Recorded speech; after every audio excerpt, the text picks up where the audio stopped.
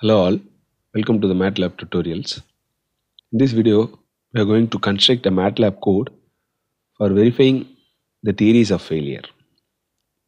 So I have uh, divided the entire code into four parts. First, getting the data, then calculating the combined stress, then calculation of principal stresses, finally verifying the theories of failure. So in the first stage, that is getting data, I am getting all the possible stresses and the Poisson ratio. So as you can see, first I'm getting the axial stress as input, then bending stress, shear stress, yield stress and Poisson ratio. So this code will get the input from the command window. So you need to provide the input in the command window. Then second stage is combined stress because in some cases there will be axial stress as well as bending stress. So in that case you have to add both the axial and the bending stresses. So I am calculating the combined stress. Then calculation of principal stress because before going to the theories of failure we need to calculate the principal stresses. So we know the mathematical model for principal stress. So I have uh, uh, created the code using the equation. Then theories of failure.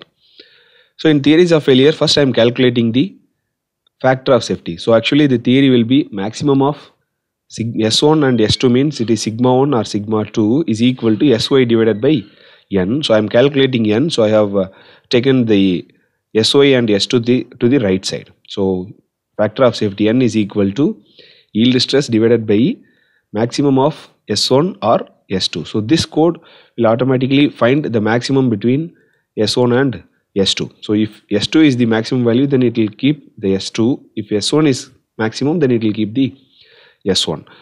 So this N is the factor of safety using the maximum principal stress theory. Now I am using if condition. So if N is greater than 1 then the display will be maximum principal stress theory is safe.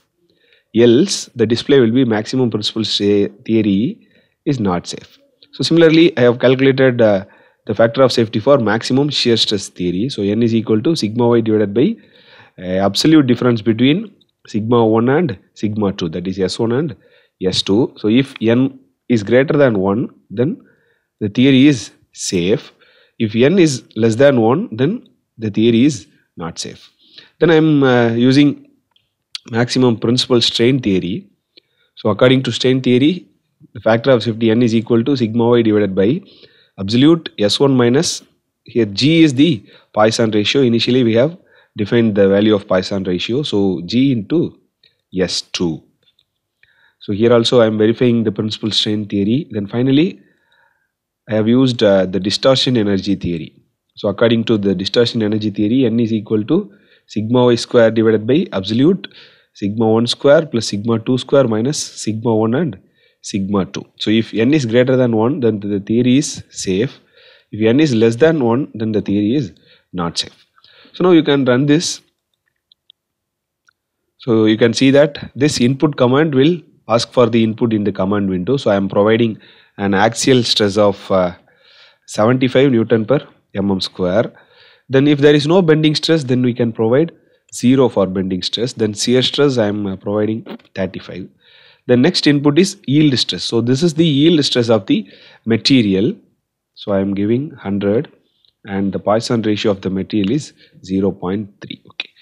So then it will calculate the combined stress then principal stress value the you can visualize the principal stress value in the workspace. So s1 is sigma 1 and s2 is the sigma 2 then uh, it will calculate the n for each theory and it will verify. So you can see that according to the principal stress theory then this loading is safe. So according to shear theory it is not safe. So similarly for principal strain and distortion energy theory is safe. Okay.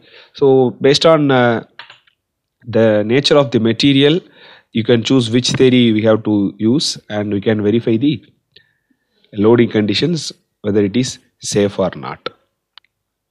So this is how you can verify the theories of failure using MATLAB. Thank you.